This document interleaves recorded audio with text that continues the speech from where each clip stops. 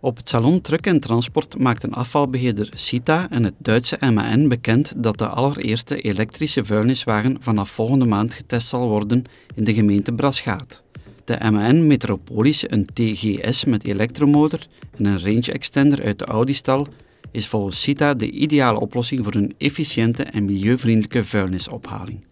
Het voertuig werd door MAN ontwikkeld in nauwe samenspraak met Sita zelf.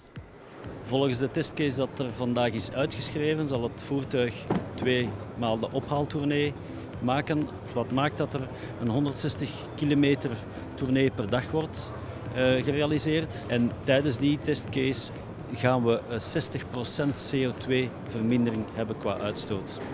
Sita wil ook s'avonds en s'nachts vuilnis ophalen. En dus moest het nieuwe voertuig zijn werk in alle stilte kunnen uitvoeren. Door gebruik te maken van een elektrohydraulische afvalpers produceert het voertuig minder dan 74 decibel. Voor de engineering van het hoogtechnologische voertuig werd de Duitse firma Benteler ingeschakeld.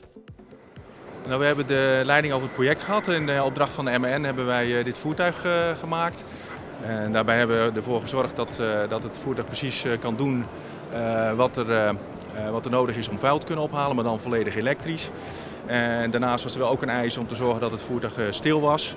Uh, veel stiller dan een normaal voertuig. Op het moment dat het terug gaat naar de depot, dan worden er ook hogere snelheden bereikt. En dan komt er nog een, range extender die, die mee gaat draaien om te zorgen dat het, het batterijpakket voldoende geladen is. En tevens is er ook een, een twee, tweetraps versnellingsbak ingeplaatst om te zorgen dat ook die hoge snelheid, dus van, van, van het ophaalpunt naar het depot, om dat te kunnen realiseren.